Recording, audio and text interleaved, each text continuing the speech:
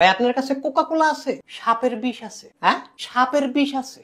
খাবিনি। সাপের বিষ খাব কেন? মাগো তুই তো কইলি যে কোকা কোলা খাবি। আরে কোকা কোলার কথা বলছি সাপের বিষ তো বলি নাই। কোকা কোলার সাপের বিষে কোনো পার্থক্য নেই। মানে? মানে তুমি যে এটা শুনছো সেইটাও। আরে ভাই কথাটা বুঝাইয়া বলেন। বুঝাইয়া কইতে গেলে তো অনেক ছন্দ কম লাগবো। আচ্ছা আপনি ছন্দই বুঝলেন তাও বুঝান। তাইলে শোনো যখন তুমি খাও কোকা কোলা সহ তাদের পণ্য দায়ী থাকবা তুমি প্রতিটা রক্তের জন্য। হ্যাঁ? বিক্রির পর এক একটা অর্থের অংশ। কর্তাছে আমার ভাই বোনদের জীবন ধ্বংস। ভাই এটা আপনি কইলেন কি? ঘটনা সবই সত্য। তুমি মিয়া জানো কি? আমরা তাও কোকা কোলা খাই। কারণ আমগো কোনো বিবেক নাই। আমরা কি কিছুই বুঝি না? আমরা সবই বুঝি আবার বুঝাও বুঝি না। তাইলে তো আমরা মস্ত বড় গুণাগার আসামি। তার কারণ আমরা করি মাইন্সের গোলামি। ভাই এখন তাহলে আমগো করণীয় কি? করণীয় এখন একটাই। যদি হন ইমানদার আর যদি হন দোকানদার ফালাই দেন কোকা কোলা বেচবেন না খবরদার। We support Palestine.